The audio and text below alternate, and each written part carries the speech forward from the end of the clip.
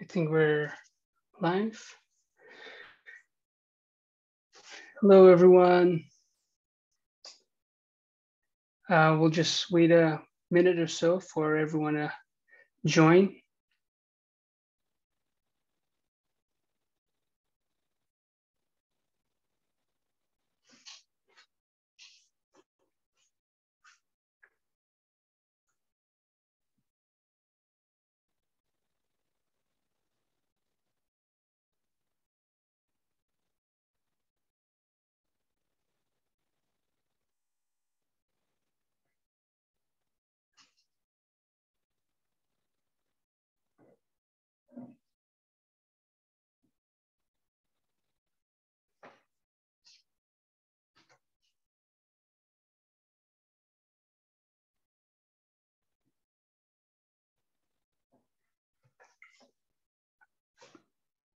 I hope everyone is uh, keeping safe and uh, doing well wherever you are, wherever you're joining us from.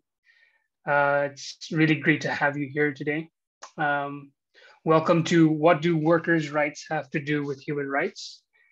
Um, this is a part of our monthly webinar series that we've been doing. It usually takes place on uh, the last Thursday of each month. And we're really excited to have you join us today, and we're always grateful for your participation. Um, my name is Caldwell Manners. I'm the communications coordinator here at CPT, and I'm calling in from the Khasi Hills in Northeast India. Uh, today, we're, I'm really excited to uh, welcome you all to this uh, webinar where we'll be having Runak from uh, Sulaimania Iraqi Kurdistan, join us, Abdullah from Hebron, Palestine, and Alejo from Barranca Bermeja, Colombia will be joining us, all of them working on our teams um, in their respective places. And they'll be sharing stories to draw us to this question of what do workers' rights have to do with human rights? Um, before we kind of keep going, uh, I just want to give you a little update on things that have been happening. There's just been so much happening in the news these days. Um, and Colombia and Kurdistan and Palestine has just been a, a, lot in the news. So just to give you a little update on what's happening in, in Colombia, today marks the a month since the protests uh, began uh, in Colombia, and there's been a very unified public outcry against inequity that's there in the country. Um, students and unions and workers and farmers, indigenous peoples, um, every human rights defenders, everyone has come out uh, out into the streets against uh, the inequality in the country and against the excessive police brutality recently that we've seen. Even today, the Inter-American Courts, um, Inter-American Committee on Human Rights actually declared that protests have generally been um, peaceful, but a lot of the folks are coming out uh, due to the provocations by a lot of the police brutality that's been happening in Palestine since the ceasefire. Uh, there's been increased settler activity in Hebron. Uh, um, the team says that a lot of uh, the settlers who have been active in a lot of the attacks on Palestinians around uh, Israel, around Jerusalem, um, have been people from Hebron, and they've kind of come back to the city. And so there's just been an uptick uh, of, of harassment to local Hebronites. Um, as well in the neighborhood of Silwan, close to Sheikh Jarrah, um, the court has postponed the decision to forcefully displace about 84 families. Uh, over in the last um, three days, uh, the Turkish uh, government army has been bombing the borders along Turkey and Iraqi Kurdistan and uh, displacing families. They recently also bombed a water source for nine families, uh, nine villages. And as they are uh, bombing, they have been also been taking up land and re- and building roads to connect back into uh, Turkey um, and, uh, in a sense, invading a lot of this territory. So, with that in the context, what does uh, what do workers' rights have to do with uh, human rights? Um, there's just so much of an intersection over there. earlier, earlier this month, uh, CPT announced that it would be uh, working on uh, a new policy, not working on, they, we started a new policy of paying a living wage to all CPTers. Um, we, you can check out our website at cpt.org for the statement that we put out. Um, and it's a part of our own growth as an organization in the work of challenging uh, and undoing systems of oppression. It's become imperative for us to even look inward to rectify and grow within ourselves. For the last 35 years, we've been working alongside activists, union workers, farmers, laborers, both from the organized and or unorganized sectors who've been fighting for their own human rights so that they can have a dignified life and not a dignified life only in terms of monetary compensation uh, that equates to labor, but because their lives, uh, they dignity means having a life of sustainability and, and of health as well. Yesterday on Instagram, uh, Hannah, our uh, social media uh, associate, uh, interviewed uh, our co-directors Milena and Muriel about what this change meant. And if you have the time, check that out, uh, and you can see a little bit more of what what they what they explain there. Um, and so, as we've been evaluating uh, our own process, um, it's it's become even more important for us to make this move towards a living wage. And so today, uh, the teams will be sharing with you stories of what do workers' rights have to do with human rights. And um, I'm going to just turn over the space to Runak, who from Suleimania, who will be beginning and sharing the story from IK. Runak. Thank you, Caldwell. Um, hello, everyone. Uh, my name is Runak Radha. I'm working with CPT-IK team.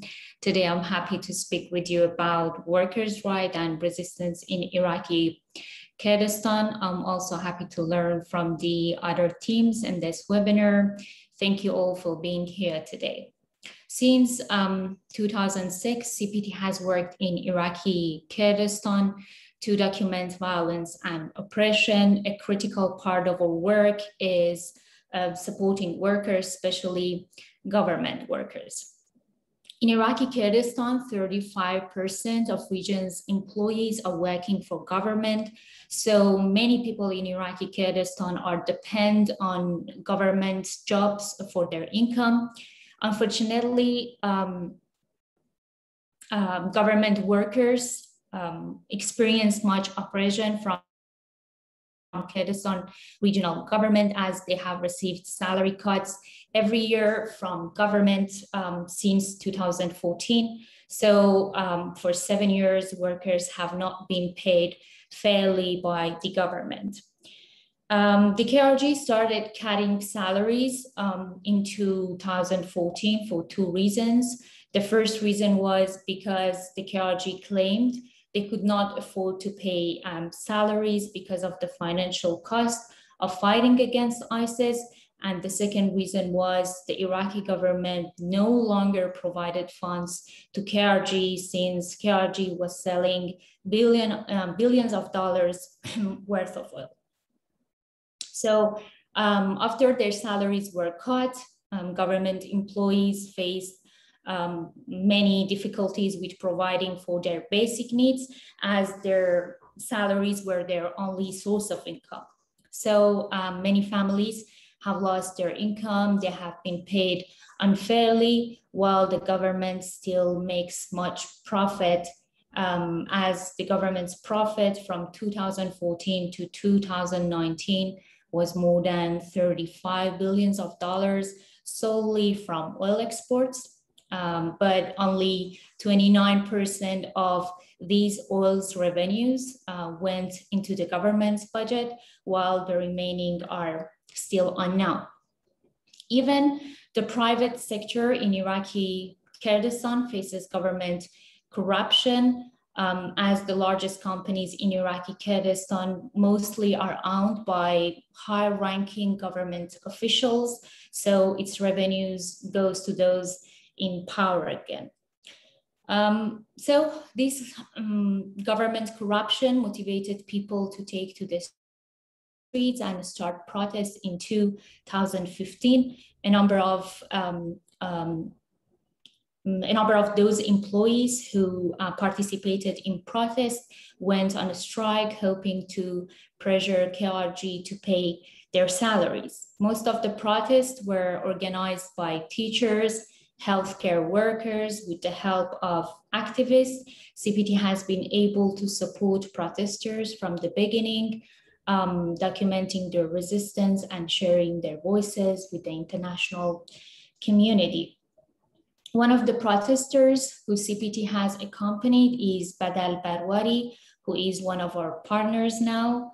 Badal Barwari has worked as a teacher for 27 years and as an organizer and activist for 15 years. Badal has dedicated himself to the struggle for workers' rights. He started organizing um, protests in 2015, demanding the KRG to pay their salaries. In response to KRG delaying payments um, to government employees, Badal once said the KRG is giving my salary as charity rather than as a right. Over the past years, Badal um, has been arrested multiple of times for his activism and organizing for workers' rights. Uh, on August 21st last year, Badal was arrested again with a number of protesters for organizing an a demonstration demanding their salaries. Badal, um, unfortunately, is still in prison now, waiting for the court's ruling. As uh, Badal Barwari has um, been incarcerated for almost a year, CPT has partnered with him and his family to fight for his freedom. Uh, a critical part of our accompaniment with Badal Barwari is our defense campaign, which seeks to put a pressure on KRG to release Badal Barwari and other prisoners who are fighting for workers' rights. Um, since we launched our campaign, um, we have been in contact with Badal's family regularly. We have organized demonstration. We collected petition um, asking the KRG to release Badal Barwari. We published statements and we organized a press conference with a number of activists and uh, finally, we share Badal's story with the world. The harm and uh, oppression workers like Badal Barwari experience in Iraqi Kurdistan is a tragedy. We as um, CPT Iraqi Kurdistan hope for a day when Badal Barwari and um, many other workers are released from prison. Until that day, we will continue to advocate for their rights and freedom.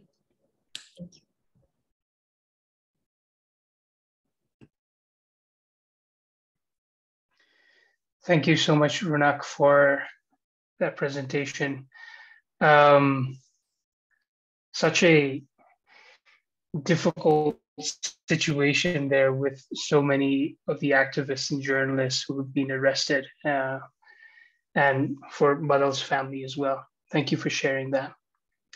Um, we want to go next to uh, Abdullah, who will be sharing with us from Hebron, in Palestine.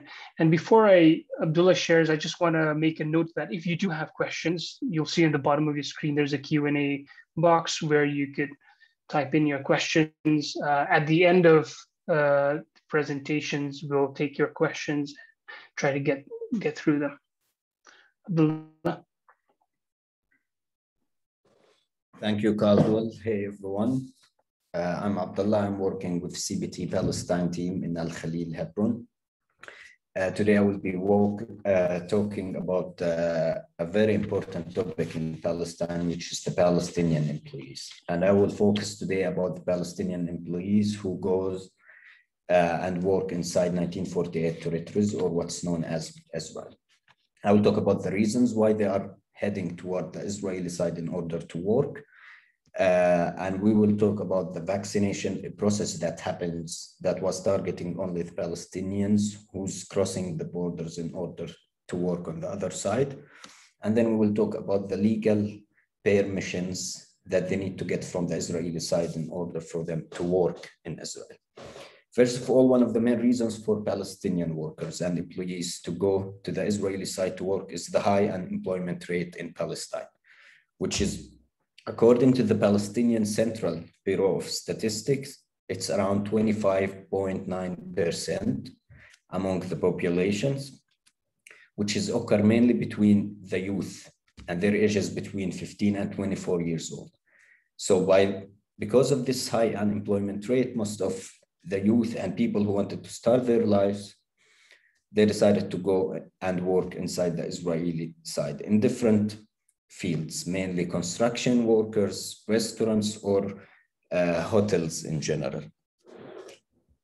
So uh, the other reason uh, why they are working, because the minimum average wage in Palestine is really high. It's around 1,450 shekels, which is equal around $445.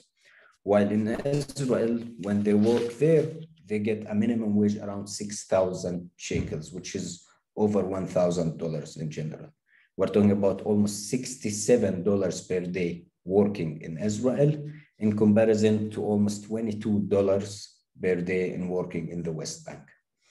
Even though that there's a good amount of money sometimes for them when they work there, but this uh, salary is full of risk because if you are a Palestinian and you want to go to Israel to work, you need to apply for something called a military permission, which means that you need to find a contractor inside, an Israeli contractor mainly, to recruit you, to hire you. According to that, you will apply to a special military permission through the Israeli military. In order to get this military permission, you need to have a clear record or a criminal record, as they call it. Now, most of the Palestinians, you don't need to be in, let's say, a criminal to have a clean record, but if someone within your family committed something in the past, you will be included with the family who have the same last name as you and you will be added to the blacklist, which has led some Palestinians to the other way, which is going illegally in order for them to work there, which means that they have to risk their lives in order to cross the borders to work on the other side. Uh, crossing the borders mean going in the early, early morning. Sometimes they need to jump walls to find someone or some groups of people who's known as smugglers. They have to, to find a special connection with with some special Israeli police officers on the other side to smuggle people to the other side. And if they get arrested, they face normally charges between six months to 12 months in prison, and they will be blacklisted from getting any military permission or even traveling. Now, the other problem that those workers face is crossing through the military checkpoints in order for them to reach the Israeli side. They need to go at 3 a.m. in the morning to wait in line for three to four hours in order to cross. I will share with you a couple of pictures showing how normally they cross.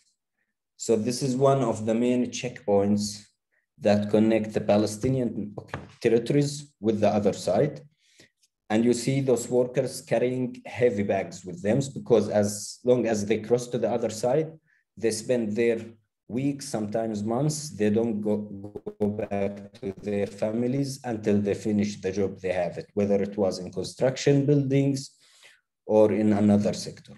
Another picture is like this. They have to wait in the long, long lines. Sometimes when they enter the military checkpoint, they will be turned back by the Israeli military for any kind of reasons and this is how a military checkpoint in the early morning looks like almost every day for those workers in order for them to cross to the other side. Now, a lot of Palestinians who have a military permission, they avoid going through this checkpoint sometimes because they don't want to face this humiliation experience. So a lot of them, they hold the permission, but they decided to risk their lives by going and taking the illegal way, arranging with some people to smuggle them to the other side in order for them to avoid this kind of humiliation. And you see the, the lines that leads to the checkpoint inside, it's formed as a cage and people spend hours and hours there until they get the chance to cross to the other side. Sometimes after this huge and long trip, people will cross to the other side and they will find the bus for the company they work for. It's already gone because they can't wait for everyone. This is one of the ways for people to go there illegally. There is some specific spots that doesn't have a full barrier. So they found some spots from there. They cut sometimes some metal fences and they cross through it to the other side. Here is another picture around 3 a.m. This is from uh, Bethlehem checkpoint, which is known as 300 checkpoint. Now, another thing I would like to talk about is the vaccination process that started by the Israeli government on March 1st, 2020. When the uh, 2021, sorry, when the Israeli government decided to vaccinate around 100 thousand Palestinians who works in Israel and holding a work permit in Israel. But the only way that Israelis decided to vaccinate those Palestinian workers because they have direct interaction with the Israelis there, and Israel was already starting a vaccination process. But the other Palestinians living in the West Bank, they were not, they didn't get the chance to get vaccinated only Palestinians who works inside Israel and carry a military permission and the work permits, they get vaccinated by the Israelis. Uh, there was around eight vaccination centers along the, not the borders, the barriers that divide the Palestinian territories from the Israeli side. Approximately 1,000 Palestinian workers were vaccinated each day until they reach this number, which is estimated around 1,000, 100,000 Palestinians who get vaccinated. Uh, one another problems Palestinian workers face it, and this is recently started to appear. Sorry, uh, during the current uh, actions that took place in Jerusalem and inside 1948 areas, Palestinians workers were attacked uh, by some Israeli mobs inside some Palestinian cities there. Uh, they were attacked by Israeli military, even though that they have a special working permission working there. One of the other main problems also they face it because they sleep in the working place, they sleep in not in a good conditions. If they work in construction buildings, they, they sleep and they stay over in the same construction site without any safety measures whatsoever no medical insurance at all, and no days paid day or days off or retirement plan whatsoever. Uh, this is all for me. Giving back the mic for you, Caldwell. Thank you. Thank you so much, Abdullah. Thank you for uh, sharing the the amount of racism that goes into creating, in terms of the vaccine policy, just protecting, you know, the people who are working within those Israeli territories to get vaccinated. Um, thank you, thank you for sharing that very, very sad story. Uh, next, um, we have Alejo sharing for us from uh, Barranca Bermeja. Alejo. Thanks, Calvo. Uh, well, I'm going to talk and describe a little bit of what's going on here in Colombia, what's going on with the national strike, and how is the situation of the workers and their conditions in my country and in Barranca Bermeja. First, I want to, to say how we understand the workers' right. And for us, the right to work is fundamental and essential to, to achieve uh, other human rights and workers' rights constitute an inseparable part of the human dignity. all the people have the right to work, to live, and live with dignity. This is how we understand this, this right. Uh, as Caldwell said before, here in Colombia and in Barranca Bermeja, we are in a general strike since one month ago. And this is a scenario that I want to describe a little bit more. Uh, Colombia is a society that has suffered violence from decades. Um, in 2016, we we live a peace agreement between the oldest guerrilla in Colombia and the government. And this situation uh, create a feeling of hope in many sectors of the society that spread and make us think that we can build a new country and a new society. A better society with more rights and with more access to work, to education, to social care. But since 2018, the new government and the right wings to ascend to the power here in Colombia, all this uh, idea of a better country and a better society go down. Uh, in April, we started the general strike. It was a, the general strike was a, an opportunity for those who have been excluded and who have been ignored to express why they want and what they are demanding. This general strike is not only gather unions, or different unions, also this strike gather students, gather farmers, uh, gather women, gather all this uh, population that doesn't have or don't get to essential rights in Colombia. This is a, a scenario where we are seeing how our country have been ruled for a specific uh, people who don't care of who are not uh, in the position to guarantee the rights of those who who haven't. So I'm gonna say some statistics from the National Department of Statistics in Colombia.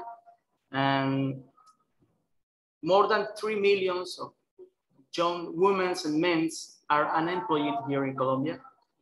And the general rate of unemployment in Colombia is around 14% of the population. In Colombia, we have a population, we are 50 million, around 50 million people.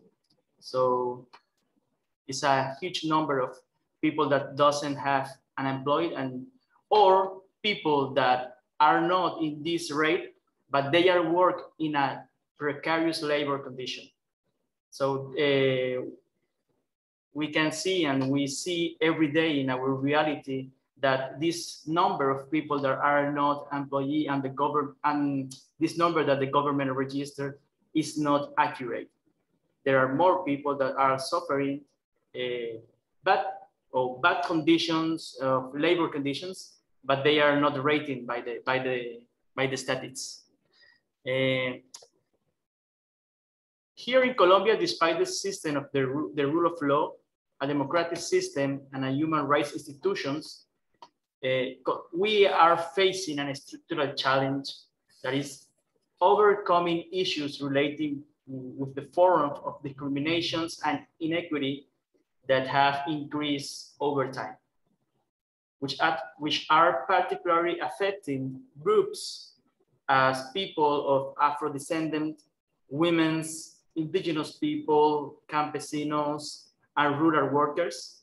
Also street people on the streets and people living uh, in informal uh, urban uh, settlements or peripheral areas. This structural inequity is intrinsically linked to social exclusion and to access to land, to social care, to social care, and to education. Uh, why this general strike is special in the Colombian history. Uh, we think that this uh, moment is important and we hope that this moment uh, let us get a better, a better country because it's the first time in Colombia when different demands from different sectors uh, gather or go uh, for uh, common goals. Uh, this is not just a, a strike where the unions or where the students uh, are, are trying to get uh, their demands and, and trying that the government guarantee their rights. Right now, we are seeing those people who never were interested in politics and were never interested in the how the, the, the state have been ruling. And now all this mix of uh, I'm hopeless uh, or hopelessness, sorry, uh, is gathered in a in a in the same moment, yeah, in in in, this opportunity. Uh, but we are seeing that the government and the state and the police, their response have been with or have been so brutal and violent. Um, the state has chose to design and implementing security policies that are based on violence and punitive institutional action on the part of the on the part of the militarized police forces and this resulting in seriously human rights violations. This the, also there, there are a high or there is a high degree of impunity surrounding cases of institutional violence for the most part of the cases and the justice system has made up no progress investigations, convictions, or reparations for victims of the police brutality during this general strike. I want to, to tell you uh, some numbers or statistics about how violence have been this repression uh, by the police. Uh, around 44 assassinations from the police have been done. This assassination is under investigations. But different NGO had claimed that 44 people have been murdered by the police in their actions trying to to dissolve the, the demonstrations and the and the and try to contain the, the demands of the protesters. Around 955 people have been victim of physical violence. 1,388 uh, people have been arbitrarily detained. Uh, uh, yeah, oh, around 100, 300, 1,388 uh, people have, so, had suffered arbitrary detentions. Uh, 46 people have been wounded on their eyes, in their eyes, and there have been 165 cases of shooting of people wounded by police shooting. Also, there have been five cases of gender-based violence and 22 uh, cases of sexual violence why we think, why we, ECAP or CPT Colombia are accompanying this general strike. We in the Barranca Bermeja city, uh, during these 20, 20 years working here, we have accompanied different social process, including unions demanding Uh, right now, we are accompanying a space of, uh, of social uh, work uh, and unions. Uh, Sinantra y Sinaltrainal is a union here in Barranca Bermeja to represent the workers of food industry. And two weeks ago, one of his mem one of his member was killed in other city, Medellin.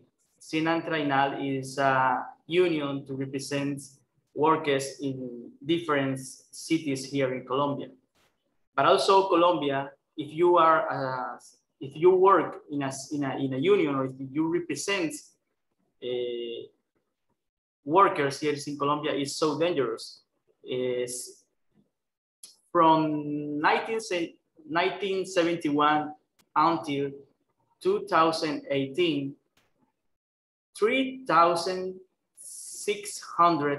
3,642 people who work in unions have been killed in Colombia. It represent it is a, it is a, a number that let, let us understand how dangerous it is to work for better conditions or, lab, or labor conditions here in Colombia. Uh, and we think that accompany and support these demands and this struggle is a way to build uh, to be part of the better country and for putting in uh, to different kind of violence and oppressions here in, in our society. Um, see? Okay, what, what we hope of this moment, this strike, we hope that at least those people who have not opportunity to get to fundamental rights like social care, education, work, a, a better life. I hope that this moment led us to get this, to this, or led us to achieve these important goals to to obtain or to become a better a better society with more equity. And I, I want to, to show and to present uh, some pictures that we have uh, that show you what's how the the the protesters express their their hope for a better country. And I want to, to say that this strike in the media, we that there is like a, a, a an intention to, to show the, the demonstrators and the, the protesters as a violent people, but we uh, here in Barranca Bermeja have witnessing the the the, demos, the cultural and artistic and artistic uh, expressions during all this month of, of strike. So I will I will show you uh, a moment.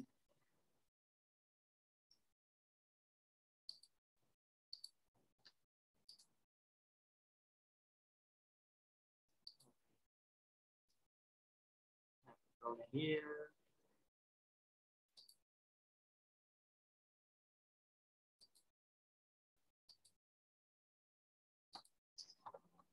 This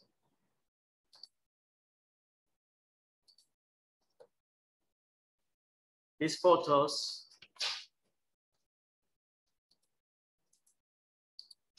is a it's an example of how the population is marching and how this strike gather different uh, sector of the of the society here in Colombia.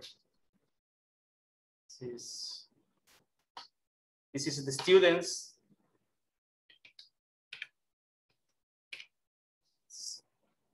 the women's also.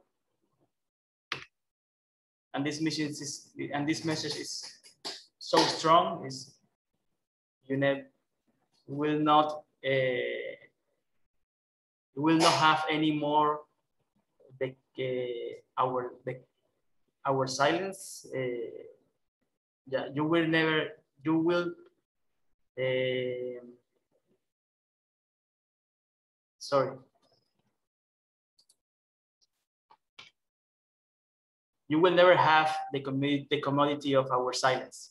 Is the is the meaning of this Descartes.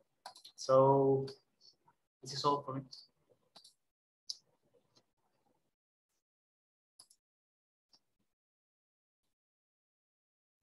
Have finished. Thank you so much, Alejo. Thank you so much for sharing about what what's happening right now. Uh, definitely, it's great to see those pictures of Barranca Bermeja not only because I remember the city as well, but because there's such a a power in the unity of, of people coming together in such large groups. Um, just to our our uh, attendees, I would just like to say, if you have any questions, uh, please uh, note them in the Q&A box at the bottom, and we can uh, ask the panelists. Um, and panelists, if you also have questions for, for others, uh, please feel free to ask your questions as well.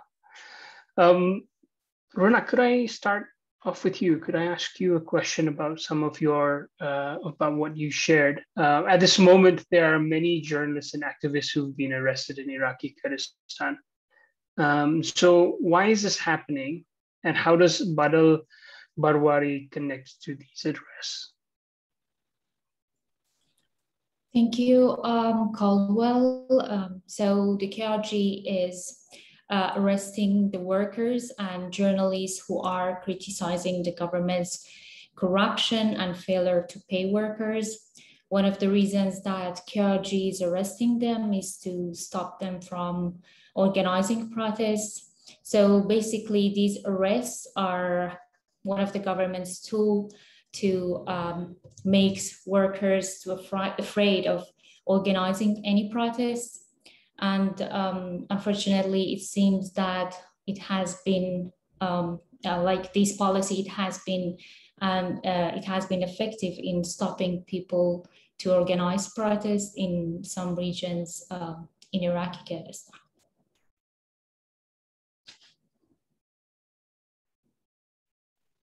Thank you.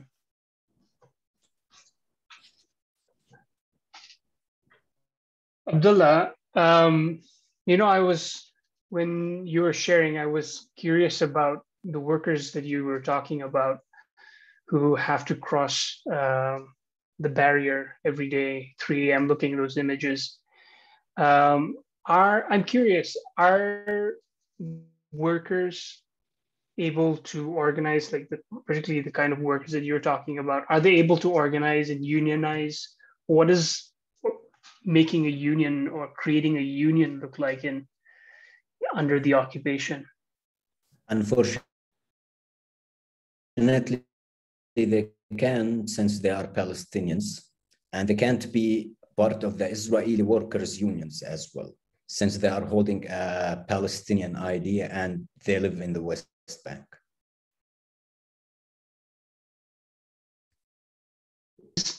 Is there what is what is what is a way for them to uh, demand for some kinds of rights? Is there what's what's their avenue?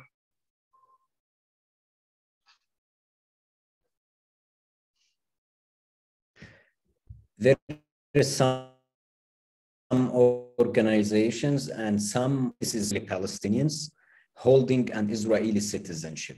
So sometimes, and most of the times, uh, uh, they take cases for Palestinian workers who've been working there for companies or for construction buildings for many, many years.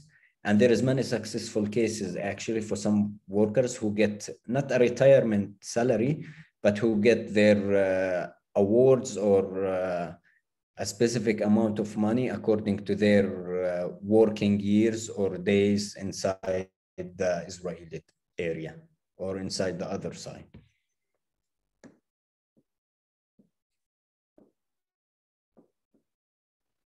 Um, Alejo, I've I've been uh, Latin America has such a long history. Colombia has such a long history of of uh, general strikes and uh, and large large protests. What do you feel uh, this time around? Why why is this time's general strike different? Do you can you speak to that? Well, I think this, this time is different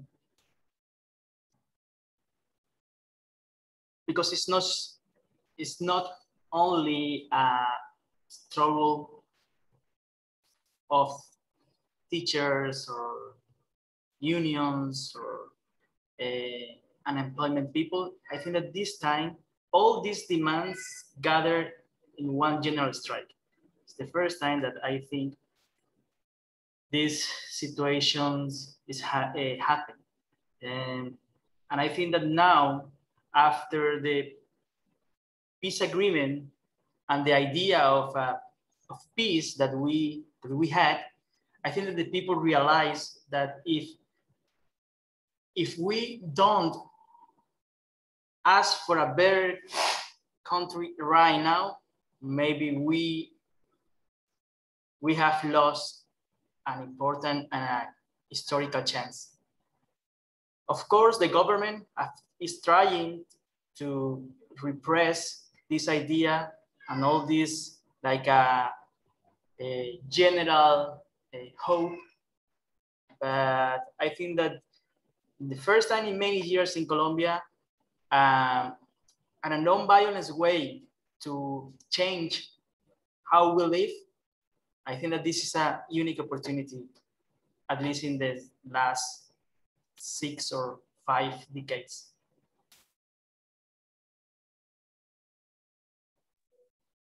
So this definitely must be a very big moment of hope for a lot of people. Yeah. Those who have been excluded and ignored, now they feel hope in this moment and, and they think that right now all they think that they their voice right now will be here or by those who make the police make the policies and take the decisions. I know I had another question about Colombia in terms of um, a lot of our partners, you know, they are farmers and um, they're mostly what they produce generally is not counted in the formal economy as part of the GDP. They produce and they sell uh, in the markets close by. Um, what does equity, what does uh, labor rights, what does farming rights, um, what would it mean for them? What do you think it would mean for them uh, with the demands that are being placed right now during this general strike? What would it mean for farmers who are, you know, far away from uh, a lot of the urban centers? Uh, how would these kind of uh, rights affect them or benefit them? I feel that this this moment uh, for for farmers, uh, but also for people who live in the rural areas here in Colombia, this ha it has been the opportunity to, to raise their voice. Uh, for example, right now in Barranca Bermeja, 700 farmers is arriving, is coming to, to, to protest, to just because they feel that if they gather their struggle with the other struggles and the, if the rural demands and the urban demands uh, go together and show to the government that this situation have to end, I feel that the, the, the idea of, of get a better a better condition for them on the on the rural areas uh, will be possible to to to create a, a new a new, yeah, a new Colombian rural area. Uh, here in Colombia, with all the conflict, the, the most affected people were the peasants and the farmers. So also there is like a, the farmers and the people from the rural areas are raising their voice because they actually are suffering the, the consequences of the idea of the consequences of the government who have not implementing the, the peace accord. It's also like it's also the opportunity for them to, to demand the implementation of the laws of the law that the peace agreement uh, create for them. For example, uh, we have a structural problem of access to the land. And uh, I know that, and I feel that this moment, the people and the peasants are trying to to press to, to put pressure on the government to guarantee this right, the right to access to land. So I think that for them is an important moment because it's not just the camp, the, the peasants' demands plus the others' demands that I have described before.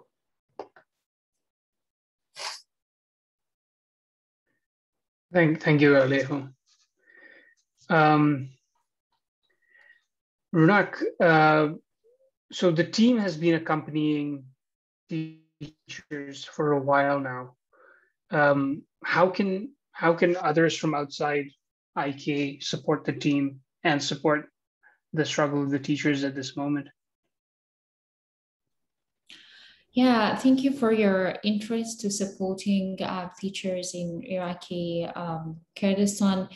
Uh, at this moment, Badal will be in court uh, in July. So um, one of the ways that um, people can support him and the other teachers in Iraqi Kurdistan is by all uh, by following our work and our campaign. We are very concerned about what will happen with the court's decision, but hopefully there should be um, a lot of action that will be happening at that time. So um, we will keep um, keep you updated about the situation of teachers and workers at that time. Thank you. Um, Abdullah, um, just as a closing question, um, how does what, what role do you see the team uh, in, in Palestine playing in supporting more of uh, labor issues? Uh, and how has the team been supporting labor issues in uh, currently? Uh, mainly, uh, also one of the issues that we see or normally when we do our school run at the checkpoints, at the same checkpoints when students crossing from the checkpoints to go to their schools, there is also Palestinian workers who's working on the local market, who's working also on the local market. They cross from the same checkpoints, which is located in the old city of Hebron. Now, uh, what I suggest also for the future for Palestine team in CBT is if we are if we can organize something at those checks where Palestinians have to cross to the other side in order to reach their working place.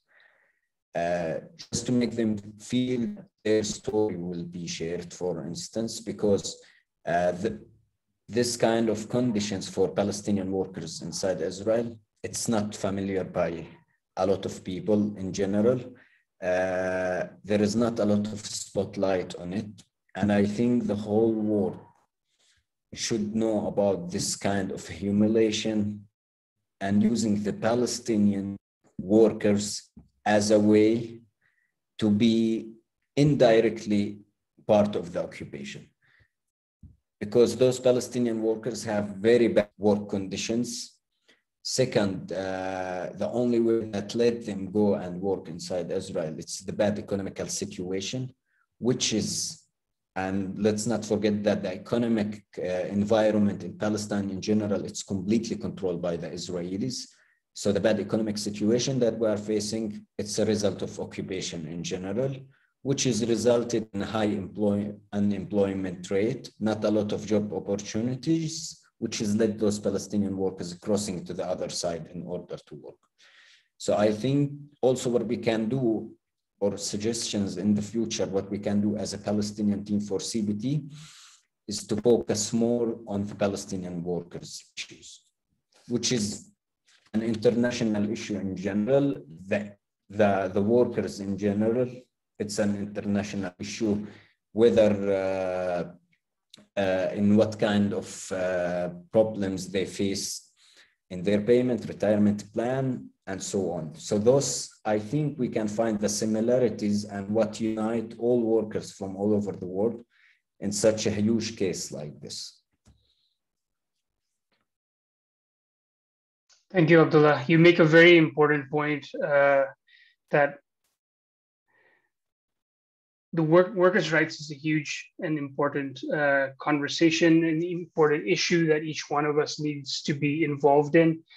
Um, what we can see in our economic system is that it breaks workers into atoms and uh, you know takes away every opportunity to to organize ourselves. So we need to unite uh, workers in Palestine, workers in IK, workers in Colombia, workers here in India and workers where you uh, participants are at, um, I think uh, it just makes so much more sense for us to work together and in solidarity.